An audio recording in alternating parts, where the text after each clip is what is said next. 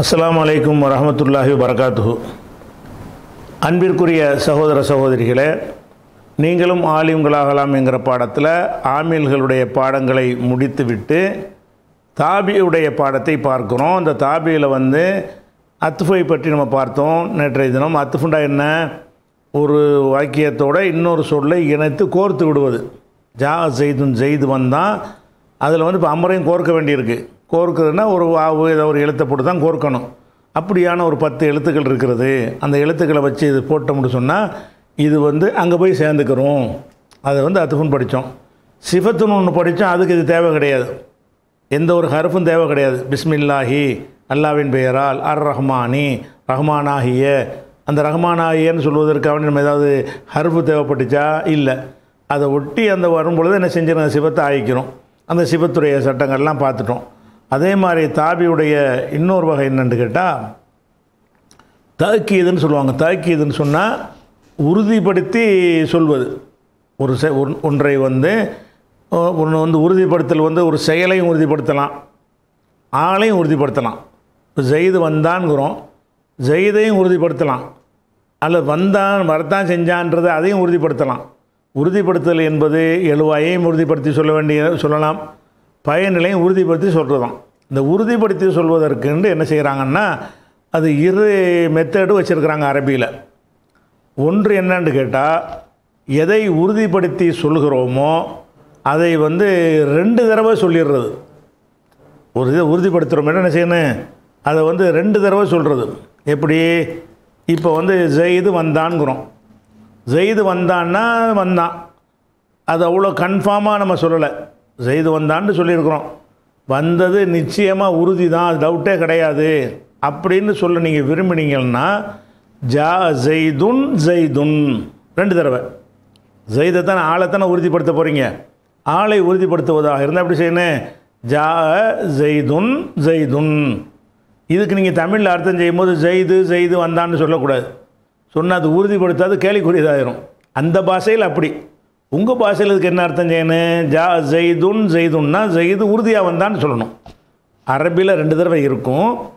அர்த்தம் அவன் எதுக்காக இதை சொல் எதுக்காக இப்படி பயன்படுத்துகிறான் அரபியில் உறுதியாக என்பதற்கு தான் பயன்படுத்துகிறான் உறுதியாக ஒன்றை செய்வதற்கு அதை பயன்படுத்துகிறாங்கும் போது நீங்கள் தமிழில் சொல்லும் பொழுது அந்த உறுதியாகங்கிறது அந்த அர்த்தம் கேட்குறவனுக்கு வழங்கணும்.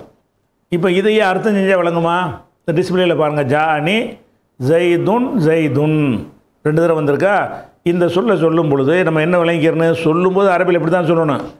அதை மொழிபெயர்க்கில் எப்படி சொல்லணும்னு கேட்டால் ஜெய்து உறுதியாக ஒரு ஜெய்துக்கு உறுதியாக ஆக்கிடணும். ஒரு ஜெய்துக்கு ஜெய்துங்கிற அர்த்தம் கொடுத்துருன்னு இன்னொரு செய்துக்கு வந்து உறுதியாக என்ன இப்படி சொல்கிற வழக்கம் வந்து நான் எந்த பாஷையும் இருக்காதுன்னு நினைக்கிறேன். தமிழில் கண்டிப்பாக கிடையாது. அப்போ ஜானி ஜெய்துன் ஜெய்துன். ஜெய்து ஜெய்து வந்தான்னா நம்ம என்ன செய்வாங்க? ஏன்டா இப்படி ஒரு தடவை சொல்ல வேண்டியானு கேட்பாங்க. அதில் நம்ம தமிழில் கிடையாது. அப்போ தமிழ் நம்ம என்ன செய்யணும்? ஜானி ஜெய்துன் ஜெய்துன் ஜெய்து உறுதியாக வந்தான். அப்படிங்கிறது அது மாதிரி சொல்லிடுவோம். அதே மாதிரி அஹ், ஜாவையும் ரெண்டு தடவை சொல்லலாம். ஜா அணி ஜா அணி ஜெய்துன். அப்போ இதில் என்னென்னு கேட்டால் ஜெய்த ஜெய்த உறுதிப்படுத்துறது இந்த முதல் சொல்லுடைய அர்த்தம். ரெண்டாவது வந்து வருகையை உறுதிப்படுத்துறது. இதை ரெண்டு தடவை சொன்னால் வந்தது உறுதி அப்படிங்கிறது வந்து அர்த்தம் வருது. அப்போ அதுக்கு நம்ம தமிழ் என்ன செய்யணும்? ஜெய்து ஜெய்து வந் ஜெய்து வந்தான் உறுதியாக வந்தான் உறுதியாக ஜெய்து வந்தான்னு சொல்லிட வேண்டியது. அப்போ ஜானி ஜானி ஜெய்துன்னு சொன்னால் ஜெய் ஜெய்துடைய வருகை உறுதியானது அப்படின்னு வருகையை உறுதிப்படுத்துறது. விளங்குதா? ஜெய்தை உறுதிப்படுத்துறேன்னா வேற ஆள் வரலன்னு அர்த்தம் வந்துடும் ஜானி ஜெய்துன்னு ஜெய்துன்னா ஜெய்து தான் வந்தான் இன்னொருத்தன் வரல. வேற ஆள் நீ நினச்சிக்கிட்டு இருக்கிற அப்படி தப்பு அப்படின்னு சொல்லி அந்த வந்த ஆளை உறுதிப்படுத்தி சொல்வதற்கு ஜெய்து ரெண்டு தடவை சொல்லிடுவோம் ஜெய்து தான். ஜெய்து வர வந்தானே தவிர வேறு ஒன்று போகலை வரத்தான் செஞ்சான் அப்படின்னு அதை ரெண்டு தடவை சொன்னோம்னா இந்த வந்தான் என்பது உறுதியாயிரும். ஜா அணி ஜா அணி ஜெய்துன் ஜெய்து வந்தான் உ- ஜெய்து உறுதியாக வந்தான் அப்படின்னு அர்த்தம் வந்துடும் இதில் அந்த உறுதிப்படுத்துவதற்காக வேண்டி இந்த வார்த்தை என்ன செய்வாங்க? ரெண்டு தடவை பயன்படுத்துவாங்க. அந்த ரெண்டாவது தடவை பயன்படுத்துறதுக்கு என்ன செய்யணும்னு கேட்டால் முதல்ல உள்ளதுக்கு உள்ள யாராப கொடுக்கணும். நமக்கு அதான் டாபிக் இப்போ. நமக்கு என்னது? ஏராபு விஷயத்தை தான் படிச்சுட்டு இருக்கிறோம். ஜானி ஜெய்துன் முதல் ஜெய்துக்கு ரஃப கொடுத்தியல்ல ரெண்டாவது செய்துக்கு என்ன கொடுத்தீங்க? அதுக்கு என்ன இருக்குது ஃபேல் இருக்கு? ஒன்றுமே இல்லை. அது எதனால் அதுக்கு ரஃபா கொடுத்தீங்க? அந்த செய்தை இது வந்து தாக்கியது உறுதிப்படுத்துகிறது. தாக்கியதுன்னு சொல்லுவாங்க இதை. உறுதிப்படுத்த வந்திருக்கிறது. அப்போ ஜானி வந்தான் என்னிடம் வந்தான். ஜெய்துன் ஜெய்து வந்தான் ஜெய்துன். ஜெய்தே வந்தான் ஜெய்தே வந்தான்ட்டு போயிடலாம். ஜெய்தே வந்தான். இந்த ஏகாரம் போட்டாலும் உறுதி தான் ஜானி ஜெய்துன் ஜெய்துன்னா ஜெய்தே வந்தான். அப்படின்ட்டு ஆயிரும். அதே மாதிரி ஜானி ஜானி ஜெய்துங்கிறோம் இதில் வந்து ஏராப்புக்கு வேலை இல்லை. ரெண்டு தடவை சொல்கிறோம் தாக்கீது இருக்கே தவிர இந்த ஜானியில் எந்த ஒரு ஏராப்பும் இல்லை. இந்த ஜானி மாலியான ஃபேலில் ஒன்றுமே வராது. இந்த ஜானியுடைய எந்த ஒரு ஏராப்பும் இந்த ஜானிக்கு வராது. அதனால் இங்கே அந்த தாக்கீதுனால் வரக்கூடிய ஏராபு மாற்றம் ஒன்றும் வராது. ஆனால் தாக்கீதுங்கிற கருத்து கிடைக்கும். எதில் ஏராபு வருமோ அதில் இந்த மாதிரி செஞ்சால் தான் என்ன செய்யணும்? அந்த ஏறாவை காப்பி பண்ணி இங்கே கொண்டாந்து வைக்கணும். ஜானி ஜானி ரெண்டு தடவை சொன்னீங்கன்னா முதல் ஜானியில் என்ன இருக்கு. ஒன்றுமே இல்லையே? அது சென்ற கால வினை அது அப்படி தானே இருக்கும். அதில் ஒரு மாற்றமே வராது. ரெண்டாவது ஜானிக்கு அப்படி தான் அது இயல்பாகவே அப்படி தான் இருக்குமே தவிர இந்த ஜாவிலேருந்து காப்பி அடித்ததுனால அது அப்படி இருக்காது. அதனால் இதில் வந்து தாக்கியது இருந்தாலும் இதில் வந்து தாபி ஒன்றும் இல்லை இதில். தாக்கியது இருக்குது. தாபிங்கிற வேலை என்னென்னா அதில் உள்ளதை இது காப்பி பண்ணணும்ல. இது முதல் வார்த்தையில் அது இருக்குது. இந்த வார்த்தையில் இந்த செய்துக்கு ரஃப இந்த செய்துக்கு ரஃபு சொல்கிறோம். அதே மாதிரி காம காம செய்துங்கிறோம். அப்போ செய்து உறுதியாக நின்றான் அப்படிங்கிறீங்க. அப்போ காம காம செய்துன்னு போட்டிங்கன்னா ஜெய்து அந்த நின்றதை உறுதிப்படுத்துறீங்க. உறுதியாக நின்றான்ங்கிறீங்க. இந்த இடத்துல வந்து தாக்கியது இருக்கிறது. ரெண்டு தடவை சொன்னதுனால. உறுதியாகனு அர்த்தம் கொடுத்துட்டோம். ஏறாபு ஏதாவது காப்பி பண்ணி வந்திருக்கான்னா ஒன்றும் கிடையாது. ஏன்? இந்த காம என்பதுக்கு எந்த ஏறாப்பும் இல்லை. அதனால் ரெண்டாவது காமாவுக்கும் ஏறாப்பு இல்லை. இதில் உள்ளதை காப்பி பண்ணி இந்த காம வரல. சும்மா சொன்னாலும் காம தான் அது. ஆனால் அது செய்து ரெண்டு தடவை வரும்போது என்னவாகும்னு கேட்டால் ஒரு ஜெய்துக்கு என்ன? ஜெய்தன் லரப்து ஜெய்தன் ஜெய்தன்கிறீங்க லரப்து நான் அடித்தேன். ஜெய்தன். ஜெய்தை அடித்தேன் ஜெய்தன். அப்போ ஜெய்தையே அடித்தேன்கிறோம் அப்போ ரெண்டாவது செய்துக்கு எதுக்கு நெசவு செஞ்சோம்? முதல் செய்துக்கு நெசவு செஞ்சதுனால ரெண்டாவது செய்துக்கு நெசவு செஞ்சோம். அப்போ லரப்து நான் அடித்தேன். ஜெய்தன் ஜெய்தன். அப்போ ஜெய்தையே அடித்தேன். ஜெய்தை ஜெய்தைன்னு அப்படி சொல்லாமல் ஜெய்தையே அடித்தேன்ற வேண்டியதுதான். லரப்து லரப்து ஜெய்தன்று லரப்து ரெண்டு தடவை போட்டிங்கன்னு சொன்னால் அப்போ என்ன செய்யணும் ஜெய்தை நான் உறுதியாக அடித்தேன். இந்த இதில் ஃபேலை ரெண்டு தடவை போட்டால் உறுதியாகன்னு போட்டுக்கிறோங்க. ஃபாயில் ரெண்டு தடவை போட்டிங்கன்னா அந்த ஏகரம் ஜெய்தையே தான் அப்படி போட்டால் அதில் தயக்கிது கிடச்சிரும். ஆளை தாக்கீது பண்ணுறதுக்கு வந்து ஜெய்து தான் வந்தான். ஆளை இது பண்ணுறோம் அப்போ வேற ஆள் வரல அப்படின்னு சொல்கிறோம் அப்போ இப்போ செயலை தயக்கிது பண்ணுறதா இருந்தால் என்ன செய்யணும்? உறுதியாகன்னு சேர்த்துக்கிறங்க. இந்த காம காம ஜெய்துன் ஜெய்து உறுதியாக நின்றான். இந்த மாதிரியாகவெல்லாம் பயன்படுத்துவார்கள். இப்படி பயன்படுத்துறது வந்து அரபியில் இருக்குது நம்ம பாஷையில் அப்படி கிடையாது. அதே மாதிரி வந்து அந்த ஹர்ஃபை கூட தாக்கீது பண்ணி சொல்லுவாங்க. இன்ன இன்ன ஜெய்தன் காய்முன். இன்ன செய்தன் காய்முனே உறு உறுதிக்கு தான் சொல்கிறாங்க ஜெய்து நிற்பவன். அந்த இன்னவையே ரெண்டு தடவை போடுவாங்க. இன்ன இன்ன நீங்கள் என்ன செய்யக்கூடாது? ரெண்டு தடவைன்னு போடக்கூடாது. இன்ன செய் இன்ன இன்ன செய்தன் காயமுண்டா என்ன செய்யணும் செய்து வந்து உறுதிப்பட நிற்கக்கூடியவன் அப்படின்னு சொல்லிட வேண்டியதான் தமிழுக்கு இது வந்து வராது. அரபியில் இந்த மாதிரி என்ன செய்வாங்க? எல்லாம் ரெண்டு ரெண்டு தடவை போட்டு சொல்லுவாங்க. இதுக்கு பேர் தாக்கியது. இது போக இது வந்து ஒரே வார்த்தையில் அடங்கிற எதை எதை சொல்கிறீங்களோ ரெண்டு தடவை ஆக்கிடலாம். வழங்குதா? யாரை பற்றி நீங்கள் பேசுகிறீங்களோ அவனை உறுதிப்படுத்துகிறதா இருந்தால் அவன் ஒருத்தன் கொலை செஞ்சுட்டான் இப்ராஹிம் கொலை செஞ்சுட்டான்னா கத்தலை இப்ராஹிம் இப்ராஹிம் இப்ராஹிம் தான் கொலை செஞ்சான். வே இப்ராஹிம்னு போட்டக்கூடாது வேற ஆள் மாதிரி போயிடும் கத்தலை இப்ராஹிமும் இப்ராஹிமும் இப்ராஹிம் தான் கொன்றான் அப்படிங்கிற இப்ராஹிம் கொன்றதை உறுதிப்படுத்தி சொல்கிறது இப்படி சொல்கிறதுங்கிறது ஒரு மெத்தட் இருக்குது. இது எந்த வார்த்தைக்கு வேண்டாலும் பொருந்தும். இது ஒன்றாச்சா இது இல்லாமல் அந்த உறுதிப்படுத்துவதற்கு என்று சில சொற்களை வச்சுருக்கிறாங்க. அந்த சொல்லை அந்த அந்த சொல்லை வந்து எதில் வேணாலும் போட்டுக்கலாம் அந்த அந்த சொல்ல ஒன்று என்னென்னு கேட்டால் நஃப்ஸுங்கிறது. இன்னொன்று ஐனுங்கிறது. இந்த நஃப்ஸுக்கு வந்து ஆத்மா உயிருன்னு அர்த்தம் இருக்குன்னு நம்ம ஏற்கனவே தெரிஞ்சு வச்சுருக்குறோம். அந்த நஃப்ஸு இல்லை இது. அதே மாதிரி ஐனுக்கு கண்ணுன்னு அர்த்தம் தெரிஞ்சு வச்சுருக்குறோம். அந்த அர்த்தம் கிடையாது இது. இந்த ரெண்டு சொல்லும் என்னன்னு கேட்டால் அந்த யாரை பற்றி சொல்கிறீங்களோ அவன் அவனை தான் குறிக்குது. என்பதற்காக வேண்டி என்ன செய்வாங்கன்னு கேட்டால் நப்ஸை போடுவாங்க இல்லாட்டி ஐனு போ ரெண்டு இதில் எதை வேணாலும் போட்டுக்கலாம். ரெண்டும் சமமான அர்த்தத்தில் உள்ளது தான் அப்போ நப்ஸு ஐனு இந்த ரெண்டையும் போடுவாங்க. எப்படி போடுவாங்க என்று கேட்டால் இப்போ உதாரணமாக எடுத்துக்கிறோங்களேன். ஜா ஜெய்துன் ஜெய்து வந்தான். ஜெய்து வந்தான்னோடு முடிச்சிட்டோம்னா அது இது செய்யலை. நப்சுஹு அவனே வந்தான். ஜெய்து அவனே வந்தான். அப்போ ஜெய்து வந்து அவங்க ஆளை விட்டு அனுப்பி விடாமல் அவனுடைய ஊழியரை அனுப்பாமல் அவனுடைய செக்ரட்டரி அனுப்பாமல் அவனே வந்துட்டான்றதுக்கு என்ன செய்வாங்கன்னா ஜா ஜெய்துன் நப்சுஹு ஜெயிது இருக்கானே அவனே வந்தான். ஜா ஜெய்து அவனே வந்தான்ங்கிறதுக்கு இந்த நப்ஸை போடுவாங்க. இந்த நப்ஸு வந்து ஜெயிதுன்னு ஜெ- ஜெய்துன்னு ஒரு ஆளாக இருக்குன்னா நப்ஸுன்னு போட்டுருவாங்க. ரெண்டு ஆளை போட்டால் அந்த நப்ஸை அதுக்கு தகுந்த மாதிரி மாற்றிக்கிடுவாங்க பல ஆளை போட்டோம்னா அதுக்கு தகுந்த மாதிரி மாற்றிக்கிடுவாங்க பெண்பாலை போட்டோம்னு சொன்னால் அதுக்கு தகுந்த மாதிரி மாற்றிக்கிடுவாங்க நப்சையை மாற்றிக்கிடுவாங்க எப்படி? ஒன்று ஒன்றுக்கு உதாரணம் பாருங்கள் ஜா ஜெய்துன் ஜெய்து வந்தான் நப்சுஹு. ஜெய் இப்போ என்ன செய்யணும்? ஜா ஜெய்து நப்சுஹுன்னா ஜெய்தே வந்தான். இதுக்கு நப்சுக்கு தனியாக அர்த்தம் செய்ய தேவையில்லை. இந்த ஜெய்தேன்னு ஒரு ஏ என்ன போட்டு விட்றீங்கல்ல அதுலேயே அந்த இந்த நப்சுடைய அர்த்தம் கடைசி போயிடும் ஜா ஜ- ஜானி ஜெய்துன் ஜெய்து வந்தான் நப்சுஹு. அவனே வந்தான். அப்போ ஜெய்தே வந்தான்ட்டு போயிடலாம் நம்ம மொழி மொழிபெயர்க்குமே என்ன செய்யலாம்? ஜெய்தே வந்தான். ஜெய் ஜெய்து வந்தானான்னு கேட்கும்போது ஒரு ஆள் ஊழியரை கூட என்ன செய்வாங்க? அனுப்பி விட்ருப்பாங்கல்ல அப்படி இல்லாமல் ஜெய்தே வந்தான். அவன் தான் வந்தான். அவன் வேலையாளெலாம் வரல பிஏ வரல அவன் தான் வந்தான்னு சொல்கிறோம் இது ஜெயிது ஒரு ஆளாக இருக்கிறான். ரெண்டு ஜெயிது வந்தாங்க. ஜா ஜெய்தானி.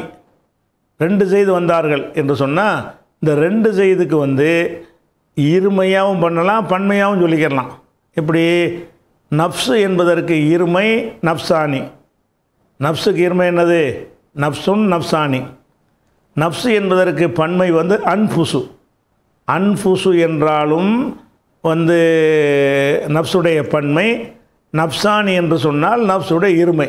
இப்போ ரெண்டு ஆளுக்கு சொல்லும் பொழுது நீங்கள் இருமையாகவும் இதை பயன்படுத்துவாங்க பன்மையாகவும் பயன்படுத்துவாங்க. ரெண்டு சமந்தான் இப்போ உதாரணமாக ஜா ஜெய்தானி ரெண்டு ஜெய்து வந்தார்கள் அன்புசுகுமா அந்த ரெண்டு பேருமே வந்தார்கள். அன்புசுகுமா அந்த லமீர் போடணும். இப்போ நப்சுகுன்னு போட்டோம்ல ஜெய்து ஒரு ஆளாக இருக்கிறதுனால வெறும் நப்ஸை நம்ம யூஸ் பண்ணலை. நப்ஸோட அந்த ஹூவை சேர்க்குறோம். யாரை பற்றி பேசுகிறோமோ அவனை நோக்கி இது மீள்வதற்காக வேண்டி ஜா ஜெய்தும் நப்சுன்னு அப்படி சொல்லக்கூடாது. ஜா ஜெய்தும் நப்சு ஹூன்னு சொல்லணும். ஜாத்து ஃபாத்திமாண்டா நப்சுஹான்னு சொல்லணும். ஜாத் ஃபாத்திமா ஃபாத்திமா வந்தால் நப்சுஹா ஃபாத்திமாவே வந்தாள் அவளே வந்தாள் அப்போ நப்சுக்கு அவளுடைய நப்சு வந்துச்சு. அவளுடைய ஆத்மா வந்துச்சு. அவள் உடலை கழட்டி வச்சுட்டு ஆத்மா வந்துச்சுன்னு அர்த்தம் செய்வோம். அப்படி இல்லை. அந்த மாதிரி அர்த்தத்துக்கு அவங்க யூஸ் பண்ணுறதில்ல இந்த வார்த்தையை. இந்த நப்சுங்கிறது எதுக்கு பயன்படுத்துவாங்க? அவன் தான் வந்தாங்கிறத உறுதிப்படுத்துறதுக்கு சொல்லுவாங்க. ஜானி ஜெய்தும் நப்சுஹு இது ரெண்டு பேருக்கு சொல்கிறதா இருந்தால் ஜானி ஜெய்தானி நப்சாகுமா அந்த ரெண்டு பேருமே வந்தார்கள். ஜானி ஜெய்தானி அன்பு சுகுமா ரெண்டு போட்டிருக்கோம். ஜானி ஜெய்தானி அன்பு சுகுமாங்கிறதையும் போட்டுக்கலாம். அல்லது இந்த அன்பு சுகுமாங்கிற இடத்துல நப்சாகுமாவும் போட்டுக்கலாம் இப்படி. ஜா ஜெய்தானி நப்சாகுமா ஜெய் இந்த ஜெய்தானி வந்தார்கள் அந்த ரெண்டு பேருடைய நப்சு வந்தது. இப்படி செய்யக்கூடாது. அது அந்த லாங்குவேஜ் விளங்குற மாதிரி இருக்காது. எப்படி விளங்கணும்? இதுக்கு அர்த்தம் செய்யணும். ஜானி ஜெய்தானி நப்சாகுமா இரண்டு ஜெய்துகளுமே வந்தார்கள். சிம்பிளாக ஒத்த இது முடிஞ்சிடும் தமிழில். ஒரு ஏகாரம் ஏ என்ன அப்போ சேர்த்துட்டா சரியாக வரும். இரண்டு செய்திகளுமே வந்தார்கள். அப்படின்னு வந்துடும் பல செய்து இருக்கிறாங்க. அவ்வளோ பேரும் வந்தாங்க. அதை வந்து நீங்கள் உறுதிப்பட சொல்ல வேண்டி இருக்கிறது. ஜா ஜெய்தூன ஜானி ஜெய்தூன பல செய்துகள் வந்தார்கள். அன்புசுகும் அவர்களே வந்தார்கள். பல செய்திகளும் வந் பல செய்திகளே வந்தார்கள். செய்து என்ற பெயர் உள்ள பலரும் வந்தார்கள் இருக்கும்ல. அந்த பலர் தான் வந்தார்கள். அப்படின்றத அந்த உறுதிப்படுத்துறதுக்கு என்ன செய்கிறாங்க அந்த அன்புசுங்கிற நப்சுங்கிற வார்த்தையை ஒரு ஆளுக்கு. ரெண்டு பேராக இருந்தால் நப்சா நப்சானி போடுவாங்க. பல பேராக இருந்தால் அன்புசுன்னு போட்டுக்குருவாங்க இது ஒரு வகையாச்சா? பெண்களாக இருந்தால் என்ன செய்யணும்? இதையே பெண்களுக்கு சொல்கிறதா இருந்தால் இந்த இருக்குது ஜாத்தினி ஹிந்துன். ஹிந்து என்பவள் ஜாத்தினா ஹிந்துங்கிறது பெண்களுக்கு பேர். ஜாத்தினி ஹிந்துன். ஹிந்து என்பவள் என்னிடம் வந்தாள் நப்சுஹா. ஹிந்து என்பவளே வந்தாள். இப்போ நப்சு தேவையில்லை ஜாத்தினி ஹிந்து நப்சுஹா ஹிந்து என்பவளே வந்தாள். அது ஹிந்து தான் வந்தாள். அந்த ஹிந்தை வந்து தாக்கி இது உறுதிப்பட சொல்கிறோம் இந்த உறுதிப்பட சொல்லும் பொழுது நமக்கு டாபிக் ஏராப்பு டாபிக் தானே? இந்த இதுக்கு என்ன ஏறாப்பு நப்சுக்கு என்ன ஏராப்பு செய்கிறது ஹிந்துவுக்கு என்ன இருக்குதோ அதை செய்யணும். ஜாத்தினி ஹிந்துன்னு ரஃப இருக்குதா? நப்சுஹா. அவளே வந்தாள். அப்போ ஜாத்தினி வந்து ஹிந்துக்கு நசபு இருக்குன்னு வைங்க. லரப்து ஹிந்தன். ஹிந்து என்பவளை அடித்தேன். லரப்து நான் அடித்தேன். ஹிந்தன். நசவு செஞ்சிட்டோம். அவளை அடித்தேன். அதுக்கு தயக்கி இது பண்ணுறோம் நஃப் சஹான்னு சொல்லணும். நஃப் சுஹான்னு சொல்லக்கூடாது. ஏன்? ஹிந்துக்கு நசப்பு இருக்கிறது. ஜாத்னி ஹிந்துன்னா நஃப் சுஹா ஜா ராய்த்து ஹிந்தன். ஹிந்து என்பவளை நான் பார்த்தேன். மஃபூலு. ராய்த்து நான் பார்த்தேன். ஹிந்தன். ஹிந்து என்பவளை பார்த்தேன். நஃப் சுஹான்னு சொல்லலாமா? நஃப் சஹான்னு சொல்லணும். ஏன்? ஹிந்தில் என்ன ஏராப் இருக்குதோ அதை தான் அந்த நஃப்ஸ்லையும் கொண்டு போய் கொடுக்கணும். அதே மாதிரி வந்து ரெண்டு ஹிந்து வந்தாங்கன்னு வைங்க. ஜாத்னி அல் ஹிந்தானி. இரண்டு ஹிந்துகள் ஹிந்து ஹிந்து பேருடைய ரெண்டு பேர் வந்தார்கள். நப்சா ஹுமா ஹுமா தான் ஆண் பெண்ணுக்கு புதுவு தானே? நப்சா ஹுமா அந்த இருவருமே வந்தார்கள். அது அதுக்கு தகுந்த மாதிரி அதை மாற்றிக்கிறோம் பல ஹிந்தாத்து வந்தாங்க. ஜாத்தினில் ஹிந்தாத்து. ஹிந்து என்ற பெயருள்ள பல பெண்கள் வந்தார்கள். அன்ஃபுசு ஹுன்ன அன்ஃபுசு சு போடணும். அன்ஃபுசன்னு சொல்லிடக்கூடாது. அன்ஃபுசு ஹுன்ன அவர்களே வந்தார்கள். இந்த ஹிந்து என்ற பெண்கள் தான் வந்தார்கள். அது சுருக்கி சொல்கிறதா இருந்தால் இப்படி இதை சொல்லிடுறோம். அதாவது இந்த நான் நப்சுங்கிற சொல்லுக்கு வந்து இது தாபி வகையில் வருகிறது. எதனால் தாபின்னு சொல்கிறோம்னு கேட்டால் ஜெய்துக்கு ரஃப இருந்தால் நப்சு என்று ரஃப வந்துவிடும். ஜெய்தானிக்கு ரஃபோ இருந்தால் அன்புசு ரஃபோ வந்துருச்சு அன்புசுண்டு வந்துருச்சா? அல்லது நப்சானி நப்சாங்கிறது ரஃப தானே. நப்சை ஹிமாண்டா நசபு ஜர்ரு. நப்சா ஹுமான்னா ரஃபோ. ரஃபோ வந்து நப்சானி. அலிஃபுன்னு வந்தால் அது ரஃபோ. அது மாதிரி ஜா ஜெய்தூன அன்புசுகும் ஜெய்தூனவுக்கு ரஃபோ இருக்குது. ரஃப எங்கே இருக்குது? இந்த வாவுனு தான் ரஃபோ. அப்போ அன்புசுன்னு அதை படிக்கணும். அதில் ரஃப இருக்கிறதுனால அன்பு இதான் தாபிங்கிறது அதை எதனால் இந்த அன்புஸுக்கு இந்த ஏராப்பு கொடுத்தீங்கன்னு கேட்டால் இது வந்து தாபிய முறையில் கொடுக்குறோம். இந்த அன்புஸ் போட்டது மாதிரி தான் ஐனுங்கிற வார்த்தை அப்படி தான் இப்போ இதை நப்ஸு பார்த்தது இப்படி டிட்டு அதே தான் இப்படி ஜா ஜெய்துன் ஜெய்து வந்தான் ஐனுஹு அவனே வந்தான். அவனுடைய கண்ணுன்றக்கூடாது இந்த தயக்கீதுக்கு வரும்போது என்ன செய்யக்கூடாது? ஜா ஜெய்துன் ஐனுஹு. ஜெய்து வந்தான் ஐனுஹு. அவனே வந்தான். வேற ஆள் அனுப்பி விடாம அவனே வந்துட்டான். அப்போ இந்த ஐனுக்கு என்ன செய்யணும்? ரபு செய்யணும். அவனேங்கிற அர்த்தம் அதுக்கு வந்துடும் அதே மாதிரி ரெண்டு செய்து வந்தாங்கன்னு சொன்னால் அந்த ஐனுங்கிற வார்த்தையும் இருமை பன்மையாக மாற்றிக்கிறணும் எப்படி மாற்றணும் ஜானி ஜெய்தானி. இரண்டு செய்திகள் வந்தார்கள். ஆயுனு ஹுமா அந்த ரெண்டு பேருமே வந்தார்கள். அல்லது ஐனா ஹுமா அந்த ரெண்டு பேருமே வந்தார்கள். அப்போ ஐயுனு ஹுமாங்கிறதையோ ஐநா ஹுமான்ட்ட போடுறோம். இதில் ரஃபம் இருக்குது. இதில் ரஃபம் இருக்குது. ஐயுனு இந்த நூனுக்கு ரஃபா கொடுக்குறோம். ரஃபை எதனால் கொடுக்குறோம்? ஜெய்தானிக்கு ரஃபை இருக்குது. ஜெய்தானில் எங்கே ரஃபா இருக்குன்னு கேட்டால் தசனியாவுக்கு இதான் ரஃபு. இந்த அலிஃபுன்னு நூன் தான் ரஃபு. தசனியா இருமை சொல்லுக்குன்னா என்னது? ஜெய்தானின்டா ரஃபு. ஜெய்தைனின்னா நெசப்பு ஜர் அப்போ ஜெய்தானியில் ரஃபு இருக்கிறதுனால ஆயுனு ரஃபு வந்துருச்சு. ஆயினா ஐ நைண்டு வராமல் ஐநா ஐநானின்னு இருக்குல்ல. ஐ நானின்னு இருக்கும் இலாபத்தினா நூனு போயிடுச்சு. ஐநாண்டு ரஃபோ தான் இருக்கிறது. இந்த ஐநாக்கு என் ரஃபோ செஞ்சீங்கன்னு கேட்டால் ஜெய்தானியிலேருந்து இது வந்து தாக்கிது ஜெய்தானிக்கு உறுதிப்படுத்துறதுனால ஜெய்தானிக்கு உள்ள யாராப்போ இதுக்கும் கிடைக்கும் அப்படின்னு சொல்லிடுவோம். அதே மாதிரி வந்து ஜா ஜெய்தூன பல ஜெய்துகள் வந்தார்கள் ஆயுனுகும் அவர்களே வந்தார்கள். அப்போ ஜெய்துனாவுக்கு ரஃபாவு ஆயுனு என்பதற்கு ரஃபாவு. இப்படி இந்த தாக்கீதுக்கென்றே பயன்படுத்துவதற்கு என்ன செஞ்சுருக்கிறாங்க? ஒரு சொல்லை வைத்திருக்கிறார்கள். அது என்னது?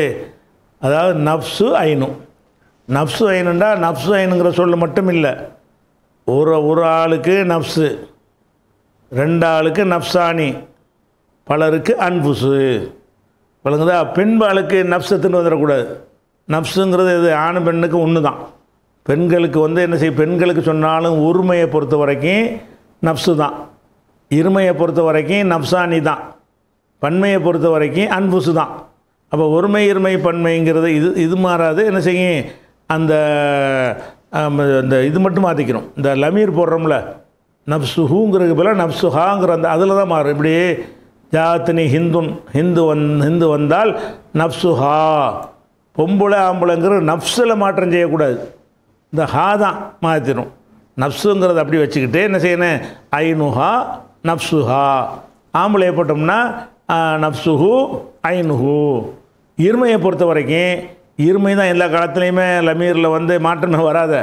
இருமையில் ஹுவோ ஹுமா தான் ஹியோவுக்கும் ஹுமா தான்.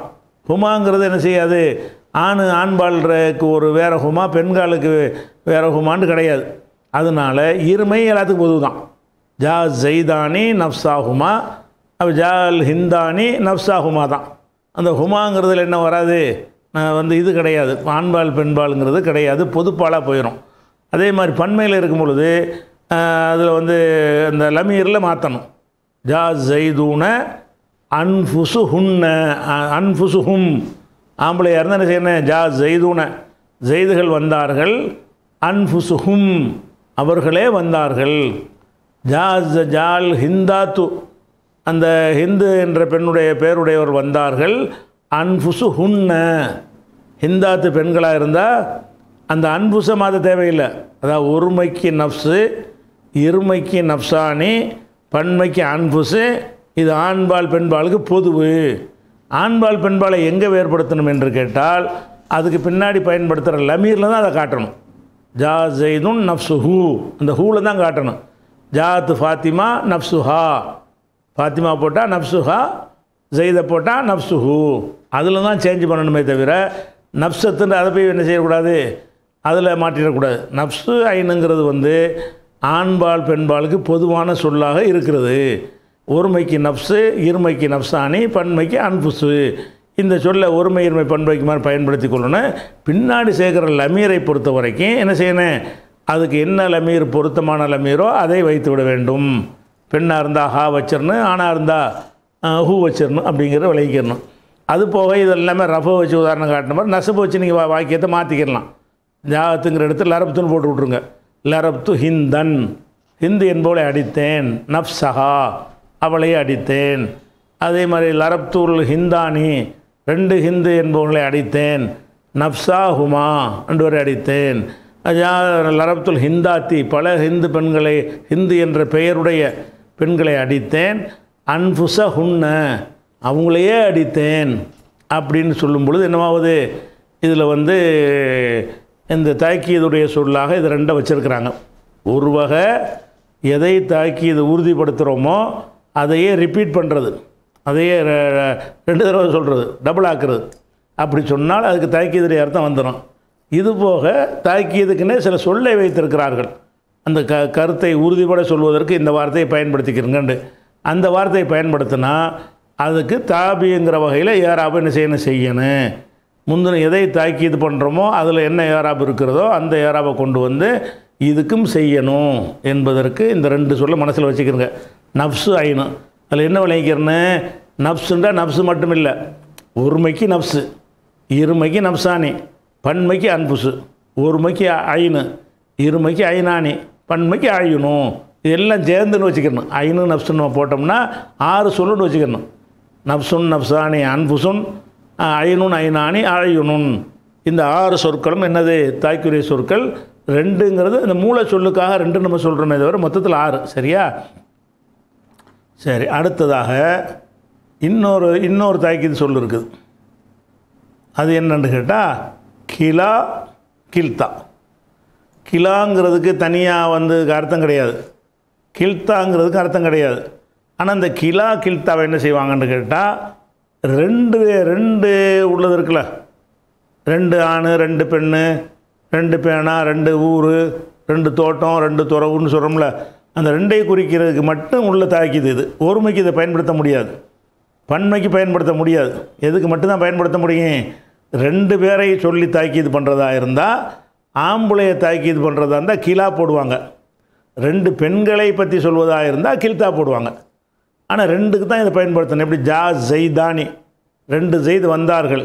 கிலா ஹுமா. ஹுமா சேர்த்துக்கணும். கிலா ஹுமா. அந்த இருவரே வந்தார்கள். ஜாத்து ஃபாத்திமா தானி. இரண்டு ஃபாத்திமாக்கள் வந்தார்கள். கில்தா ஹுமா. அந்த இருவருமே வந்தார்கள். அப்போ இந்த கிலா என்பது ஆண்பால் இருமை சொல்ல மட்டும் தாக்கீது பண்ணும். கில்தா என்பது வந்து பெண்பால் இருமை சொல்லை மட்டும் தாக்கீது பண்ணும். இதில் என்ன செய்யாது? மற்ற ஒருமையை ஜெய்துக்கெல்லாம் இது பயன்படுத்த முடியாது. ஜெய்தானிக்கு தான் பயன்படுத்தலாம். ஜெய் தூணான்னு ஜம்முக்கு பயன்படுத்தக்கூடாது. கில்தல் ஜன்னத்தைனி சொர்க்கம் இருக்கிறது. கீழ்த்தல் ஜன்னத்தைனி இந்த இரண்டு சொர்க்கங்கள் இரண்டு இந்த சோலைகள் அப்படின்னு சொல்லும்போது இந்த கீழ்த்தாங்கிறது எதுக்கு வந்துடுது இலாஃப் செஞ்சு வந்துடுது அதுக்கு வந்துடுதா இந்த கிலா கீழ்த்தாங்கிறது வந்து லமீர்லையும் வரும். சரியா? லமீர் இல்லாமல் வந்துச்சுன்னு சொன்னால் அது வந்து இலாபத்துன்னு சொல்லுவாங்க. அது வார்க்கை வார்த்தை வார்த்தையின் துவக்கத்தில் வரும். அந்த இது வந்து தாக்கியதுடைய அர்த்தம் வராது. இந்த கீழ்த்தல் ஜன்னத்தைன்றோம்ல இந்த ரெண்டு தோட்டங்களும் ஆற்று தூக்குலகா அது கொடுக்க வேண்டிய உணவுகளை வழங்கியது ஒவ்வொரு நேரமும் கொடுத்ததுன்னு அல்லாஹ் குரானில் சொல்கிறான் அந்த கிழ்த்தல் ஜன்னத்தைன்னு வருது. இந்த ஜன்னத்தை நீ வந்து தயக்கீது பண்ணுறதுக்கு வரல. அது வந்து இந்த இரண்டு சொர்க்கங்கள்னு வந்திருக்கு இல்லை இல்லை இதை வந்து இலாஃப செஞ்சு சொல்லிடணும். லமீரை வச்சு சொல்லக்கூடாது. முதல்ல இந்த இருமையை சொல்லிட்டா தான் லமீர் போடணும். உதாரணத்துக்கு பார்த்தீங்கன்னா இந்த காமர் ரஜுலானி இருவர் நின்றார்கள். இரு ஆண்கள் நின்றார்கள். கிலாகுமா இருவருமே நின்றார்கள். காமர் ரஜுலானி கிலாகுமா இரு ஆண்களே நின்றார்கள். அல்லது இரு ஆண்கள் நின்றார்கள் அவ்விருவருமே நின்றார்கள். அப்போ இந்த கிலாகுமாங்கிறது என்ன செஞ்சுருக்குது? ரஜுலானியில் ரஃபோ இருக்குதா? அலிஃபுன்னு தானே ரஃபோ? கிலாவுலேயும் ரஃபோ இருக்குது. சரியா? சரி இந்த ரஜுலானிக்கு நசபு செஞ்சிட்டோம். எப்படி? ராய்த்துர் ரஜுலைனி. இரண்டு ரஜுல்களை நான் பார்த்தேன். நசபு செஞ்சேன் மஃபூல். ராயத்து நான் பார்த்தேன் ஃபாயில் உலக போச்சா? அர் ரஜுலைனி. இரண்டு ஆண்களை நான் பார்த்தேன். இப்போ இது ரஜுலானின்னு சொல்லாமல் ரஜுலைனின்னு சொல்லிவிட்டீங்க. இப்போ நசப்பு செஞ்சிட்டீங்க. அப்போ அந்த கிலாவுக்கு நசப்பு செய்யணும். எப்படி செய்யணும்? கிளை ஹுமா கிளை ஹிமா. கிலாங்கிறது கிளைன்னு மாறிக்கணும் கிலாஹுமான்னா ரஃபு செய்யும் பொழுது பயன்படுத்தக்கூடியது கிலா. நசபு ஜர்ரு செய்யும் பொழுது கிளை ஹிமா அப்போ ராயத்தூர் ரஜுலைனி ரெண்டு ரெண்டு ரஜுலை நான் பார்த்தேன். கிளைஹிமா அந்த இருவரையே பார்த்தேன் அப்படிங்கிறது. அதே மாதிரி காமத்தில் மர் அத்தானி இரண்டு பெண்கள் நின்றார்கள். கில்தாகுமா அந்த இருவருமே நின்றார்கள். மறு அத்தானிக்கு ரஃப கில்தாங்கிறதுக்கு ரஃப கில்தா ரஃபவுடைய வடிவம் தான் கில்தாங்கிறது. இதையே வந்து மற்ற நசபோ ஜர்ரோ செஞ்சீங்கன்னு வைங்க. அது எப்படி வந்துடுறேன்? அப்போ லரப்து நான் அடித்தேன். அல் மரு அத்தானி இரண்டு பெண்களை நான் அடித்தேன். கில்த்தை ஹிமா ஹுமான்னு சொல்லாமல் ஹிமான்னு மாறிக்கணும் சுக்குன்னு வச்சு ஏன் வரும்போது இப்படி மாறுதல்? அது மாதிரி அலை ஹிமான்னு வருதில்ல அந்த மாதிரி. கில்த்தை ஹிமா அந்த இருவரையே நான் வந்து அடித்தேன். அப்போ வந்து ர- ரஃபோ செய்யும் பொழுது மறு அத்தானி கில்தாகுமா நசபு செய்யும்போது மறு அத்தைனி கில்தைஹிமா. ரஜுலானி ரஃபோ செய்யும்போது ரஜுலானி கிலாகுமா ரஜுலானிக்கு நசபு செஞ்சு ரஜுலைனின்னு சொல்லிட்டோம்னா ரஜுலைனி கிளைஹிமா என்று சொல்லிடுவாங்க அப்போ நீங்கள் மனசில் வச்சுக்கிறது என்னென்னு கேட்டால் நஃப்ஸு ஐனு அது ஒரு ஒரு செட்டாச்சா அதே மாதிரி கிலா கில்தாங்கிறது தாக்கீது செய்வதற்குரிய எழுத்துக்கள். இது வந்து தசனியாவுக்கு மட்டும்தான் வரும். இருமைக்கு மட்டும்தான் வரும். சன்னாவுக்கு மட்டும்தான் வருமே தவிர இது ஒருமை சொல்லுகளுக்கோ பன்மை சொற்களுக்கோ இதை பயன்படுத்த மாட்டார்கள். கிலா என்பது ஆம்பளையில் ஆண்பாலாக இருக்கக்கூடிய ரெண்டு பொருள்களுக்கு ரெண்டு பேருக்கு பயன்படுத்துவார்கள்.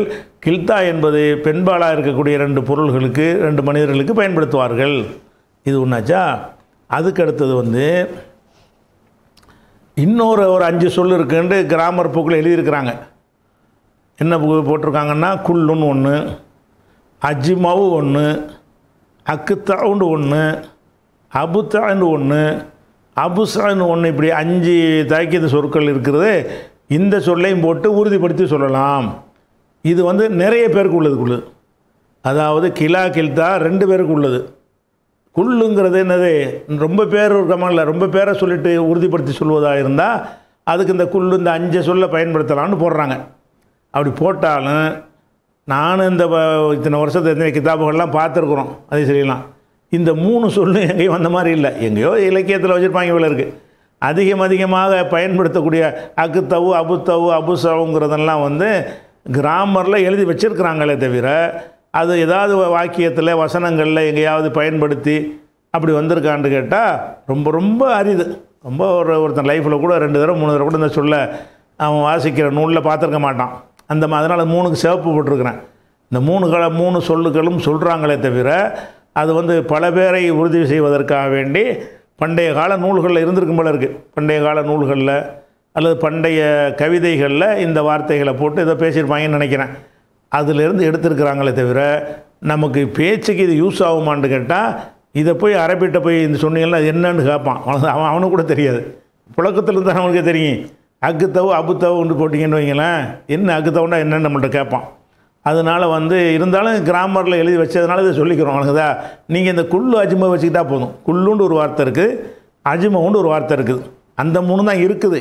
இருந்தாலும் அதிக மண்டையில் ஏற்றிக்கிட்டீங்க லோடு அதிகமாக இடம் கொடுக்குறீங்க. சும்மா சைடில் லைட்டாக வச்சுட்டு போயிடும் அது இருக்குது ஆனால் யூஸ் இல்லை யூஸ்லெஸ்ன்னு விட்டுற வேண்டியதான் அப்போ இந்த குள்ளு அஜ்மாங்கிறது என்ன செய்கிறதுக்கு உள்ளது தாக்கியதுக்கு உள்ளது. எப்படி தாக்கியதுக்கு உள்ளதுன்னு கேட்டால் ஒரு குள்ளுன்னு எதுக்கு சொல்லுவோம்னு கேட்டால் அது வந்து ஒரு ஒரு இனத்தின் பெயரையோ அது ஒரு ப பகுதி பகுதியாக பிரிக்க முடியும்ல அந்த மாதிரியான பொருளுக்கு தான் அந்த குள்ளு போடணும். பிரிக்க முடியாது எல்லாம்னு போடுவோமா? எல்லாம்னு போட மாட்டோம். ஜெயிது இருக்கிறான். ஜெயிது எல்லாம் வந்தானே அவன் ஒரு ஆள் தரப்ப என்ன எல்லாம் வர்றது? அவனை போட்டு பிரிக்க இயலாது. அதே நேரத்தில் இந்த பாருங்கள் இந்த உதாரணம் காட்டியிருக்கிறோம். புஸ்தான்னா வந்து தோட்டம். புஸ்தானா என்னது? தோட்டம்னு சொல்லுவாங்க. தோட்டம்ங்கிறது என்னது? அதை வந்து பிரிக்கலாம். ஒரு தோட்டம்ங்கிறதுல அதில் காவாசியை நான் வாங்கலாம் விலைக்கு வாங்கலாம். பாதியை வாங்கலாம் முக்கால்வாசியை வாங்கலாம் பத்து பர்சன்ட் வாங்கலாம். அந்த புஸ்தான்கிற தோட்டத்தை நான் விலைக்கு வாங்கிறேன். நான் தோட்டத்தை வாங்கினேன்னா ஒருத்தன் என்ன விளங்கிடுவான் ஏதோ அந்த தோட்டத்தில் ஏதோ கொஞ்சத்தை வாங்கியிருப்பாருன்னு நினச்சிக்கிடுவான் அது முழுசாக வாங்கிட்டாருன்னு நினச்சிக்கிடுவான் முழுசாக தான் வாங்கினீங்கன்னு சொல்ல வேண்டி இருக்கிறது எப்படி சொல்லணும் இஷ்தரைத்துல் புஸ்தான. தோட்டத்தை வாங்கினேன். குள்ளஹூ அதை முழுசுமாக வாங்கினேன். தாக்கீது பண்ணியாச்சு. தோட்டத்தை வாங்கினேன். அந்த தோட்டம்ங்கிறது தோட்டத்தில் கொஞ்சம் நினச்சிக்கிறாதீங்க. மொத்த தோட்டத்தையும் வாங்கிவிட்டேன் இந்த குள்ளு பயன்படுத்துறது. இந்த குள்ளு அஜ்மா பயன்படுத்துகிற இன்னும் சில மெத்தடுகள்லாம் இருக்கிறது இன்ஷால்லா அதை வந்து நம்ம அடுத்த நாளைக்கு பார்ப்போம். அஸ்லாம்